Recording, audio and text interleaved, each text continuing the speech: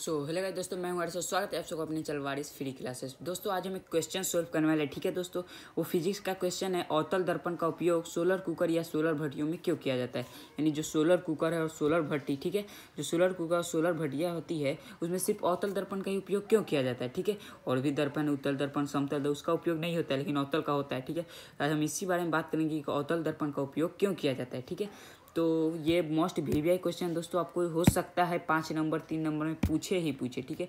ये बहुत ही most V V I question है। और हाँ दोस्तों, अगर वीडियो को लाइक और चैनल को सब्सक्राइब नहीं किया तो चैनल को सब्सक्राइब कर लीजिए, क्योंकि मैं यहाँ पर most V V I question ही लाता रहता हूँ, जिससे आप देखकर अच्छा सा बोर्ड से तैयारी कर सकते हैं, ठीक है? तो यहाँ पर जैसे कि सबसे पहले इसका परिभाषा हम यहाँ पर बता देंगे आपको। उससे पहले कुछ बेसिक कॉन्सेप्ट बता देता हूँ, ठीक है? ये देखिए, जैसे कि मैं यहाँ पर सबसे पहले अवतल दर्पण बनाता हूँ, ठीक है? एक सेकेंड।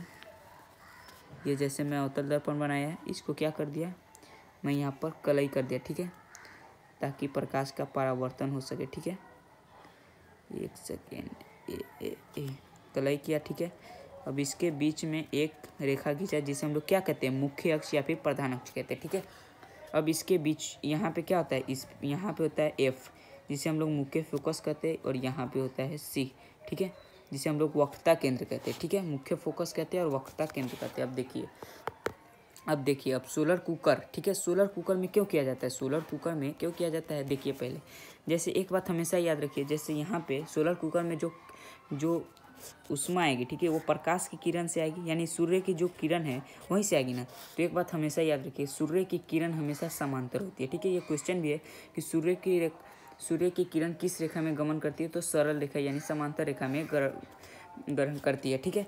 समांतर रेखा में, ठीक है? गमन करती है। अब देखिए, ये सूर्य की किरण, ठीक है? जैसे कि मैं यहाँ पर देखता हूँ तो ये देखिए, जैसे यहाँ पे एक सूर्य की प्रकाश की किरण है, देखिए, ये रही।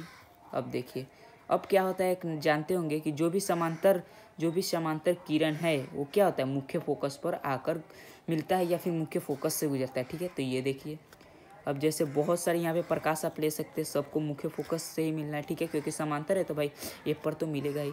आप अनगिनत ले सकते हैं, ठीक है? क्योंकि भाई, जो सोलर कुकर सोलर भट्टी, उसमें भी तो बहुत सारे प्रकाश आते हैं अब देखिए अब देखिए, यहाँ पर मैं तीर बना दे रहा हूँ आपको, ताकि आपको समझ में आए कहाँ से प्रकाश गई है, ठीक है? अब देखिए, अब ये जो है यहाँ पे केंद्रित हो रहा है, ठीक है? यानी कि देखिए, बहुत सारा प्रकाश की किरण है और एक जगह पे केंद्रित हुआ। तो जहाँ पे भाई साहब केंद्रित होगा, वहाँ पे ज्वाला होगा ना मतलब वहाँ पे उष्मा उष्मा उत्पन्न होगी और उष्मा उत्पन्न होगी। सोलर कुकर जैसे है, बहुत सारे प्रकाश की किरण है मुख्य फोकस पे मिले उस अवतल दर्पण के तो उष्मा उत्पन्न होगी और उष्मा उत्पन्न एक जगह पर बहुत ज़्यादा होगी। तो आराम से उस पर हम खाना पका सकते हैं, ठीक है? तो वही परिभाषा है, देखिए ध्यान से। परिभाषा क्या है? तो परिभाषा है अवतल दर्पण। सूर्य से आने वाली किरणों को एक बिंदु पर केंद्रित करती है, ठीक है? जो हमने अभी जाना है। अवतल दर्पण सूर्य से आने वाली किरणों को एक बिंदु पर केंद्रित करती है।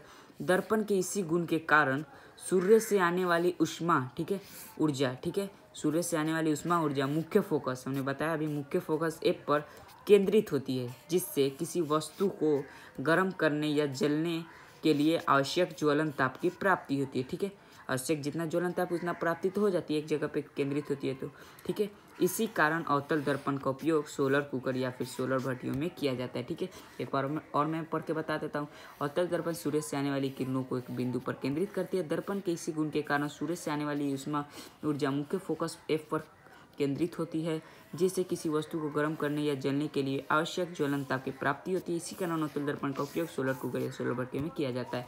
बात करें डायग्राम की तो आप यहाँ पे एक बना सकते हैं। ठीक है, ये देखिए, आप यहाँ पे एक, ये ग्राफ बना सकते हैं, देख सकते हैं। ठीक है, ये अवतल दर्पण है, इसको हम लोग पी कहते हैं ध्रुव कहते हैं। ठीक है, यहाँ पे एम एम एम डैश ले सकते हैं। ठीक है ये जो है प्रधान अक्ष है, यानी मुख्य अक्ष है, ये वक्ता केंद्र है, मुख्य फोकस है, ये सब तो आप जानते हो, देख सकते हैं, ऐसे बना सकते हैं और ये लिख सकते हैं। आप अगर पाँच नंबर में आए तो पाँच नंबर तो लिखा हुआ है, ठीक है?